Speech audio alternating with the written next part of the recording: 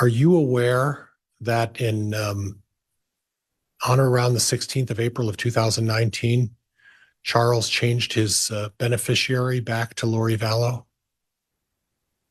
I knew that, yes, I mean, no, I didn't know at the time, but I've learned later.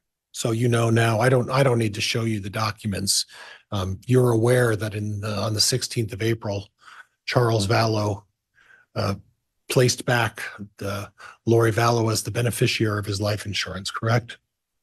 Yes. Okay. All right. Well, I know he had changed it and Right. I assume it was to her. And then would you, um, would you tell me when he changed it back to you, to your knowledge? I don't know. There, there was issue with the insurance company regarding that Okay. and that's all I know. So issuance, issue was the insurance company, you, but in essence, uh, one way or the other, you were able to receive an, a, uh, a beneficiary check, um, as a result of Charles being murdered by Lori and Alex, right?